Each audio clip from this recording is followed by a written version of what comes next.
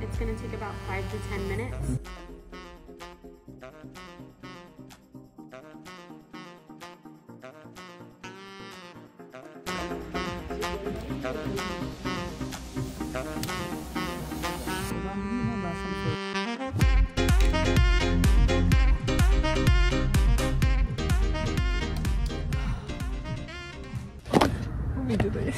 Videodayız. Çekmişiz ama daha demin çekmemişiz video. İnanabiliyor musunuz? Bizim peki bu saflığımız Hemen şimdi YouTuber olacağız ama biz. hemen şimdi sizlere e, hızlı hızlı Kısaca aynen. hızlı hızlı hemen aktarayım. Arkadaşlar ben bu arabayı Melis'le beraber ortak bir şekilde başvurdum. Arabamız Tesla Model 3. Bu arabayı sıfır olarak aldık. İlk başvurumuzu yaptık arkadaşlar Melis'le beraber. Melis'le beraber dedim hani iki kişi başvurursak banka Aile ki, olarak. aile olarak bunlar rahat öder. Biz bunlar arabayı verelim diyebilir diye o şekilde başvurduk. Fakat maalesef çıkmadı ve Melis'in kredi skoru 30 puan bir aşağı çakılma oldu. Biz böyle bir şok olduk. Ben dedim ki ben Melis'te dedim bir sıkıntı var. Ben bunu gece gizlice kendim de yapayım. Kendim tek başıma başvuru yaptım. Kendi adımı girdim. Ben Melis'i çıkarttım. Melis'i çıkarttım ve down payment'ı 7000 dolar yaptım. Bu 7000 dolarlık down payment sonrasında bana ertesi gün haber geldi. Haberde de şöyle bir şey arkadaşlar. Krediniz şartlı olarak kabul edilmiştir. Bu ne demek oluyor? Biz sizden 10 bin dolar down payment istiyoruz. Geri kalanı kredi olarak verebiliriz dediler. Ben de okey dedim ve arabayı görmüş olduğunuz Buna gibi kimse aldık. inanmıyor aldığımıza bu şekilde ama Evet. bu şekilde aldık. İnanmıyorlar. Yok işte 30 bin vermişsindir. Yok 25 bin Yok vermişsindir peşine ben falan. de aldım. Burada şöyle bir gerçeklik var arkadaşlar. Ee, burada tanıdığım bir arkadaşım var. Arkadaşım Tesla demiş ki hatta Honda da aynısını söylemiş. Demiş ki sen o 40 bin dolar arabayı 35 bin dolar da versen biz sana kredi vermeyiz, veremeyiz demişler. Ama o arkadaş en son sponsor bulup kendine Honda aldı. Tesla'yı alamamış o da. Yani demek istediğim bu biraz da şans da olabilir. Biraz da bizim Yani. attığımız doğru adımlar da olabilir. Çünkü biz buraya Evet. gelmedi, gelmeden önce araştırdık. Çok Her önemli. şeyi Yani detaylı çok- detaylı ben her şeyi araştırdım çünkü e, Türkiye'de evet bir yaşantımız var ama buraya geldiğimiz bizim burada farklı olabilmemiz lazım ve kaliteli bir hayat yaşayabilmemiz gerekiyor. Zaten amacımız bu yani. Bu kaliteli hayatı yaşayabilmek için de neler yapmalıyız falan hepsini önceden araştırdım. Sağ olsun yardımcı olan abilerimiz de oldu burada. Beni yönlendiren çok insan oldu. E, onların sayesinde de şu anda e, hem onların sayesinde hem de kendi sayemizde yaptığımız hareketler dolayısıyla böyle bir araba aldık. Oradayız. Şimdi bizi arkadaşlar şaşırtan bir nokta. Özellikle Evet. beni. Ben bu arabayı aldım. Arabayı alırken arkadaşlar noter vesaire zaten yok biliyorsunuz. Gittik sadece orada bir iki imza attım arabayı bana verdiler. Plakama dahil, plakayı dahil takmışlardı arabayı. Bunlar güzel. Ama arkadaşlar şöyle bir sıkıntı var. Şimdi anlatıyorum. Bu arabada paspas dahi yoktu. Evet, Türkiye'de paspassız araba verseler siliniriz biz yani. Ve arabanın ama sağ olsunlar şarjını %85 gibi bir şarjla vermişlerdi. Ee, şey, şarjı eve gidince dolmuştu. 24 saat fişten çıkarmayın dediler. falan değil öyle bir şey yok tabii ki. de güzel. Hayır yok tabii ki. Pasas vermediler. Ee, koltuk şeyi yırtık çıktı.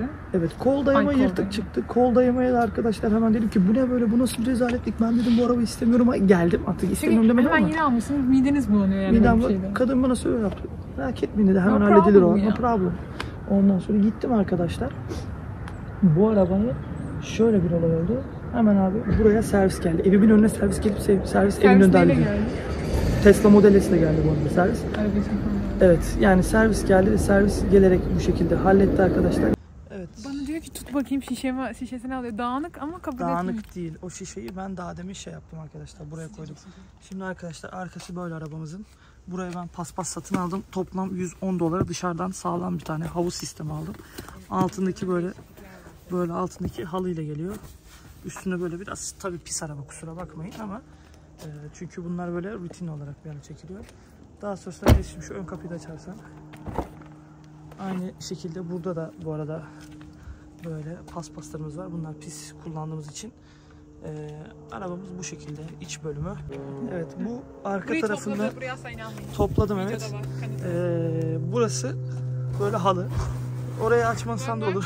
Orada da dağınıklık var ama orada işte futbol topu, işte kramponları falan vesaire. Bu şekilde. Şimdi Ben bir gün bunu arkadaşlar yanlışlıkla kapattım böyle elimle tamam mı? Tolga arabanın içindeyken böyle ne yapıyorsun bak bozacaksın. Yani otomatik kapanan bir şeyi neden yaparsınız? Bu da benim işte ön konsol. Görmüş olduğunuz üzere buradan böyle bir tane şarj içi böyle bir kablo çektim harici olarak. Şimdi bu arabada şaşırdığım bir şey anlatacağım sizlere. Bu arabada ne yok Melis? Ee, CarPlay. Apple CarPlay yok maalesef. Evet şimdi Çok ilginç değil mi? Melis'ciğim şuradan telefonumu veriyorum. Telefonum benim anahtarım. Böyle kartla falan uğraşmıyoruz. Melis'ciğim ön, ön kaputu açar mısın telefonla? Daha söyle. Ön kaputu açar mısın lütfen? Evet ön kaputu açtık. Evet şimdi burada bir DoorDash çantası ve Melis'in burada cipsleri var. Bunu alıyoruz. Benim değil cipsi Tamam bir saniye tutar mısın? Evet bu da arkadaşlar o 110 dolarlık paspas setin içinde normalde bu şekilde geliyor. Ama ben hani zarar görmesin hiç diye şöyle bir paspas seti de Bu aldım. arada mesela diğer videoda bahsetmiştik. Şundan da kısaca bahsetmek Evet. Bundan da kısaca bahsetmek istiyorum. Ee, mesela bu arabaya da çivi girmiş. Çünkü böyle bir driver arabası şu anlık. Bu arabanın lastiğine de çivi girmiş arkadaşlar. Bu arada Amerika'nın yolları falan öyle bir yalan yani kötü. Evet rezalet çok kötü gerçekten. Şey, e, çivi girmiş. Biz o çiviyle bu arabayı en az iki hafta kullandık. Çünkü inmiyor. Hani öyle İniyor. akıllı sistem dediklerime bu. Akıllı tekerlek mi ne? Yani patlamaz lastik mi var üzerinde bilmiyorum. Emin değilim şimdi yalan konuşmuyorum ama çivi girmiş. E, girmiş ama çıkmamış. E, öyle hava siniyordu. Çünkü hani tamamen patlamaz lastik diye bilmem için çivinin şey olması lazım bu arada. E, komple nedir onun, ne denir ona? E, şey olması gerekiyor. Yani komple inmesi gerekiyor. Patlamaz lastikte. Patlamaz lastikte indikten sonra belli bir süre arabayla gidebiliyorsun. E, öyle olması gerekiyor. Onu da bilmediğimiz için arkadaşlar hani bir şey diyemedik. Şimdi hemen son kısaca bir e, detaydan bahsedeceğim. yapalım. Arkadaşlar biz bu arabayı alırken Tesla'ya ilk başvurumuzu yaptığımızda 250 dolar verdik. 250 dolar verdikten sonra arabayı hemen istediğimiz özellikleri, beyaz koltuk vesaire gibi seçenekleri sunduk. Jantları maalesef seçemedik çünkü istediğimiz jantlar yoktu. 1000 dolar fazla Sport. galiba. 1000 dolar fazlaydı verirdim ama sport jant olarak e, ilk etapta Tesla Model 3'de gözükmüyor. Sonradan ekstra alabiliyorsun ama ilk etapta gözükmüyor. Sadece ilk etapta iki tane jant sunuyorlar. Birisi gri, birisi de şu an üzerinde görmüş olduğumuz siyah. Onu da şimdi göstereceğim Var size de. zaten videoda galiba. Evet. Ee, onlar vardı ve arkadaşlar şöyle bir gerçeklik oluyor. Siz arabanızı giriyorsunuz ve Tesla bize dedi ki hemen eğer dedi bizim elimizde hazır ol hali hazırda bu araba var ve birkaç tane daha araba var. Bunlardan birini seçerseniz size böyle böyle fiyatlandırma sunuyor. Bizim bu arabamız tamı tamına 37 bin dolara düşmüştü. 37 bin dolar düşünce dedim ki ne oluyor hemen alalım. Hemen başvuru yaptık. Bu arabanın bize işte sigortası, cartusu, versi her şeyi hani alım bedeli ondan sonra teksi meksi eklendi. 41 bin küsüre geldi. Bu arabayı normal şartlarda kendiniz oluşturduğunuzda beyaz koltuğunu vesairesini seçtiğinizde Daha pahalı. 45 bin küsüre geliyor. Bizim burada aşağı yukarı 4 bin dolar gibi bir uygunluğumuz var. Harici olarak ilk defa e, kampanyadan da yararlandığımız için 500 dolar gibi bir indirimimiz var. Harici olarak sene sonunda eğer biz vergi ödeyecek olursak, bu arabayı almamızın en büyük sebeplerinden bir tanesi. Büyük ihtimalle vergi Burada ödemeyeceğiz. vergi dilimleri var biliyorsunuz. Ee, neden vergi ödemeyeceğiz? Çünkü biz daha yeniyiz burada ve e, kazancımız ve giderimiz aşağı yukarı şu an çok fark yok aralarında. O yüzden arkadaşlar eğer hani vergi verme durumu gibi olursa da bize Tesla ilk defa elektrikli araba aldığınız için Tesla değil bu Amerikan hükümetinin yaptığı bir şey 7500 dolar gibi bir ödemenizi bank devlet kapatıyor.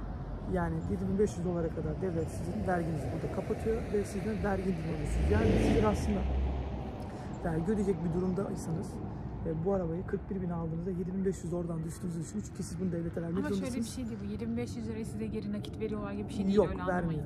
Yani sizin ödemeniz gereken bir 5000 7500 dolar. ödeyeceksen sen atıyorum ödemiyorsun. Ama 10.000 ödeyeceksen mesela 7500'ünü düşüyorsun 2500 2500 lira ödüyorsun. ödüyorsun gibi böyle durumlarda söz konusu. O yüzden dikkat ettim burada her zenginin evinin önünde bir tane var.